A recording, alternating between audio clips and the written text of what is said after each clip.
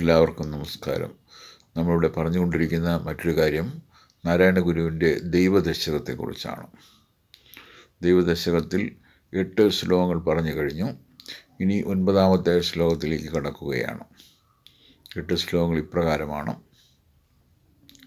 ദൈവമേ കാത്തുകൊള്ളുകങ്ങ് കൈവിടാതിങ്ങു ഞങ്ങളെ. നാവികൻ നീ ഭവാപ്തിക്കൊരാവിവൻ തോണി നിൻപതം ഒന്നൊന്നായി എണ്ണി എണ്ണി തൊട്ടെണ്ണുമ്പോൾ ഒടുങ്ങിയൽ. നിന്നിടും ദൃക്കുപോലുള്ള നിന്നിൽ അസ്പന്ദമാകണം.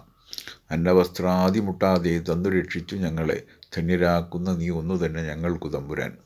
ആഴിയും തിരയും കാറ്റും ആഴവും പോലെ ഞങ്ങളും. മായയും നിൻ മഹിമയും നീയും എന്നുള്ളിലാകണം നീയല്ലോ സൃഷ്ടിയും സൃഷ്ടാവായതും സൃഷ്ടിജാലവും. നീയല്ലോ ദൈവമേ സൃഷ്ടിക്കുള്ള സാമഗ്രിയായതും.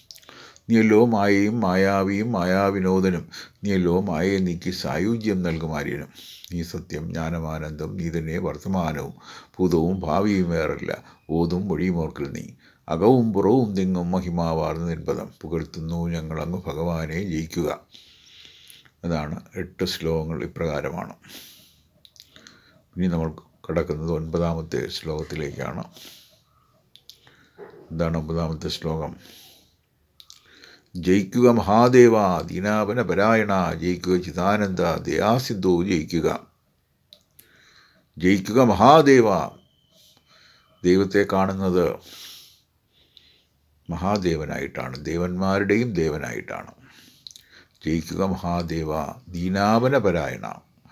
എല്ലാ ദീനന്മാരുടെയും അവനം മാറ്റിക്കൊടുക്കുന്ന ആൾ ദീനാവന പരായണ. ദീനന്മാർക്കുള്ള ദുഃഖം മാറ്റി കൊടുക്കുന്ന ആളാണ് ദൈവമെന്ന് പറയുന്നു.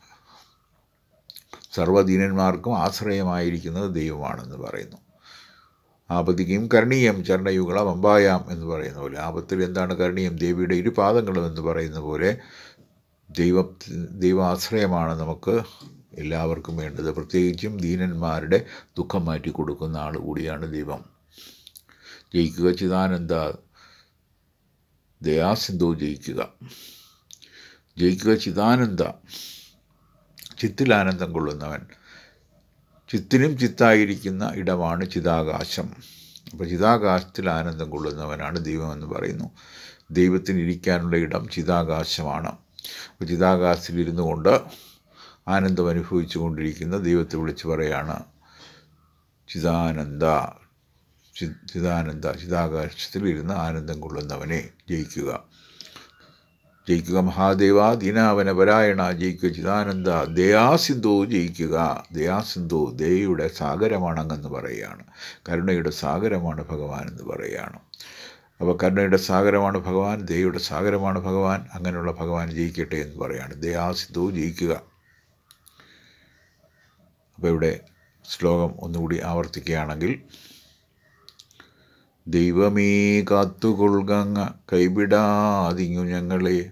നാവികൻ നീ ഭവാപ്തിക്ക് ഒരാവിവൻ തോണി നിൻപദം. ഒന്നൊന്നായി എണ്ണി എണ്ണി തൊട്ടെണ്ണും പൊള്ളൊടുങ്ങിയൽ നിന്നിടും ദൃക്ക് പോലുള്ള നിന്നിൽ സ്പന്ദമാകണം അന്നവസ്ത്രാദി മുട്ടാതെ തന്നു രക്ഷിച്ചു ഞങ്ങളെ. ധന്യരാക്കുന്ന നീ ഒന്നു തന്നെ ഞങ്ങൾക്കു തമ്പുരൻ. ആഴിയും തിരയും കാറ്റും ആഴവും പോലെ ഞങ്ങളും മായയും നിൻ മഹിമയും നീയും എന്നുള്ളിലാകണം നീയല്ലോ സൃഷ്ടിയും സൃഷ്ടാവായതും സൃഷ്ടിജാലവും നീയല്ലോ ദൈവമേ സൃഷ്ടിക്കുള്ള സാമഗ്രിയായതും. നീയല്ലോ മായയും മായാവിയും മായാവിനോദനും നീയല്ലോ മായയെ നീക്കി സായുജ്യം നൽകുമാരിനും. നീ സത്യം ജ്ഞാനമാനന്ദം നീ തന്നെ വർത്തമാനവും ഭൂതവും ഭാവിയും വേറല്ല ഓതും മൊഴിയും ഓർക്കൽ നീ. അകവും പുറവും തിങ്ങും മഹിമാവാർന്ന നിൻപദം പുകഴ്ത്തുന്നു ഞങ്ങളങ്ങ് ഭഗവാനെ ജയിക്കുക. ജയിക്കുക മഹാദേവ ദീനാവനപരായണ ജയിക്കുക ചിദാനന്ദ ദയാ സിന്ധു ജയിക്കുക. അപ്പം അങ്ങനെ നമ്മൾ ഒൻപത് ശ്ലോകങ്ങൾ പറഞ്ഞു കഴിഞ്ഞു. ഇനി ഒരു ശ്ലോകം കൂടെയാണുള്ളത്. അത് നമുക്ക് അടുത്ത ദിവസം ചിന്തിക്കാവുന്നതാണ്. അപ്പോൾ നിങ്ങളോട് സംസാരിക്കാനുള്ള അവസരമൊരുക്കുന്ന ദൈവത്തിനും ഗുരുവിനും നന്ദി പറയുന്നു. എന്റെ വാക്കുകൾ ശ്രമിച്ചുകൊണ്ടിരിക്കുന്ന നിങ്ങൾക്ക് എല്ലാവർക്കും നന്ദി നമസ്കാരം.